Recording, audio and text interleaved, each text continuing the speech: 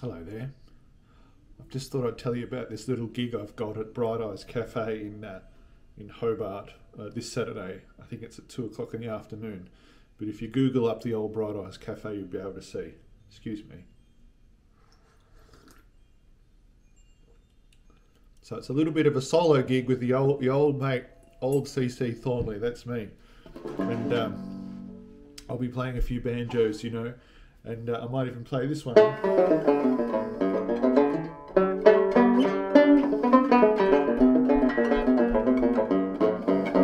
I'll probably play that exact same thing on every single banjo I own.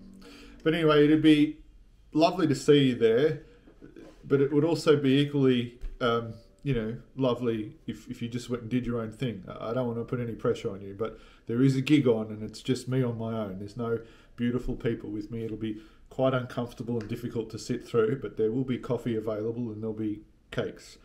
And uh, yeah, Bright Eyes Cafe at 2 p.m. on Saturday, September the 4th. Thank you. Bye.